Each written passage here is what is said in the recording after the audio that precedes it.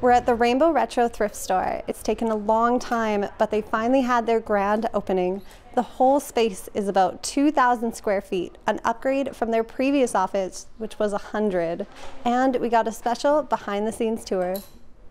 Um, sometimes people come in to talk about like their coming out experience and the things that they've been through recently, and so we want to have that space where people really feel like um, they can be themselves and um, where you know they feel like you know they can share. Wickenhauser says Moose Jaw Pride decided to create an office space with a thrift store after hearing the idea from a lot of people. He says it's a place transgender people can feel comfortable shopping and somewhere everyone can walk right in. He says the store was meaningful to him and others to open. Sort of uh, realizing something of a dream that, uh, you know, we've only been working with Jaw Pride in the last like five years or so.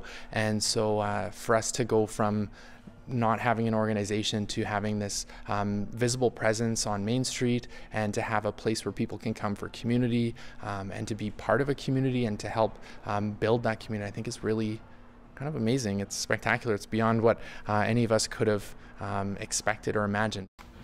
One customer here was getting ready for a Pride Parade Bethany Boutelier says she appreciates having a place like Rainbow Retro.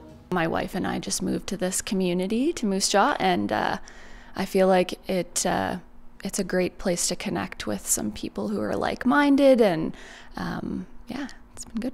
All funds from the store go to the LGBTQ community, whether for fundraising or events.